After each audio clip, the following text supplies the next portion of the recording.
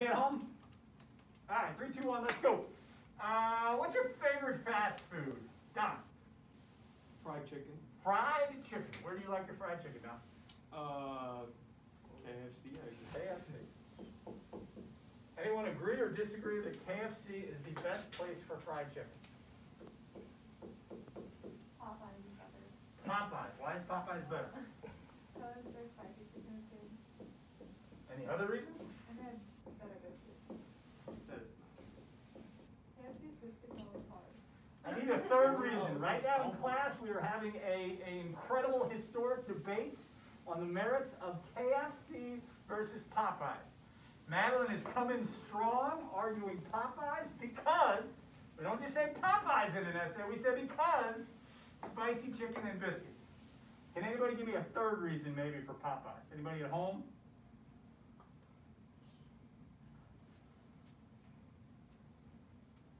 Anything else about Popeyes, sake of making an argument, a three-part argument, even if you don't believe it? What does Popeyes have as their sides other than biscuits? Cajun fries. Cajun fries, there we go.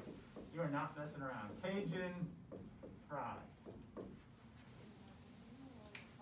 Sophomore year of high school, Madeline Black can get away with Popeyes is the best fried chicken in the country because of their spicy chicken, their biscuits, and their Cajun fries.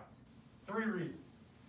And I even do that first semester with some of my sophomores. A typical outline essay where you have three reasons in three paragraphs. Everybody with me? What are we trying to do in this class in regards to complexity?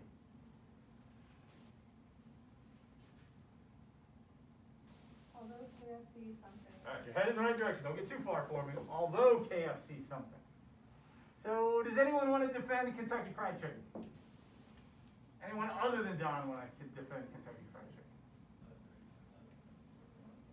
Madeline, what do you think? Do you want to vote for one of these? I'd probably vote KFC. Why? They're better combo deals.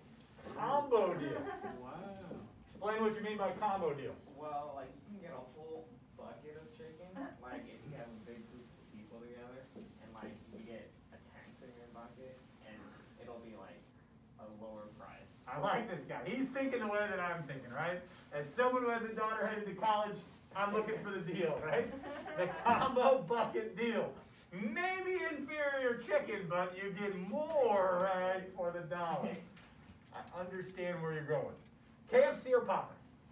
I don't eat either of them, but. uh, Based on the arguments that you've heard. based on the arguments that I've heard. Isn't KFC supposed to have good gravy? Ooh, let's add that. Maybe it does. I And don't put that into the arguments. Good.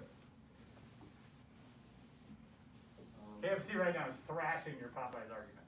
Yeah, I'll go with KFC as well. Yeah. Why? I don't know. Maybe I'll, I'll take the combo deals as well. Yes, you're a man after my heart. Seconding the combo deal. We're gonna come back to you. Uh, KFC. Woo! What? Why? Good mashed potatoes. Good man. Oh, there we go. So we got mashed potatoes. So right now, where you are, I want you to type or write a complex thesis. You're exactly where we were going, Madeline. Combining these two. Although,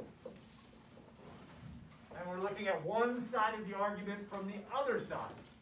Although you're willing to admit, as hard it is, it is, that Madeline may be right about something. And the second part of that is obviously the argument itself. Great.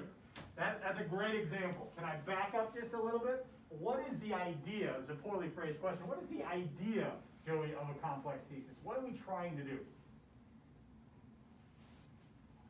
We're trying to make sure that the reader understands that not everything is one way or the other.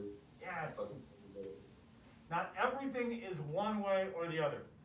Not everything is all A and not B. Excellent. Why do historians want complexity, Maddie? Why do they grade us on this?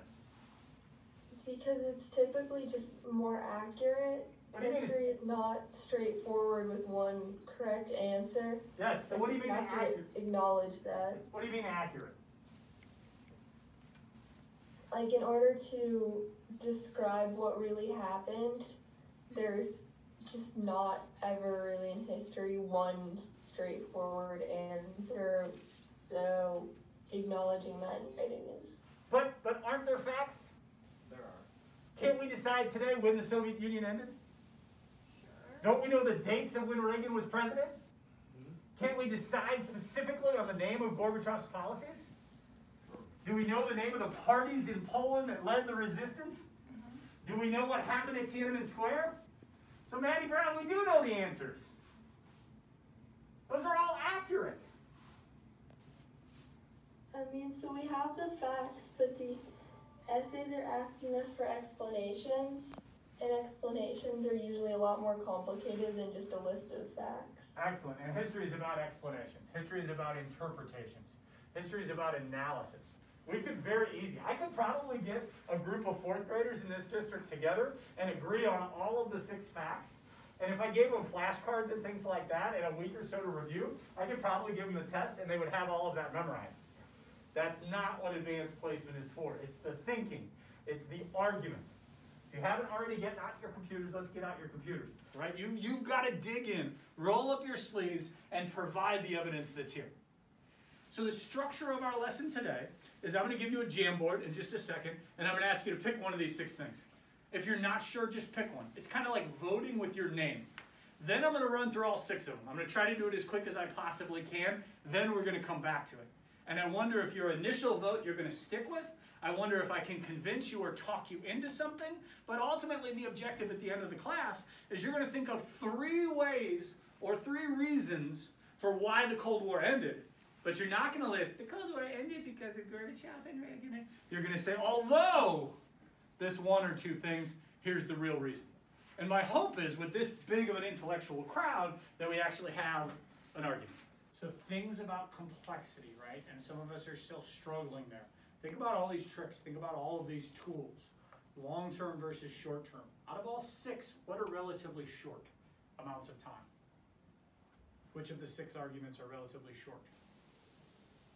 The events, so like Afghanistan, Events in Afghanistan could be. the, But I- especially the, um, the independence movements or like In Eastern Europe?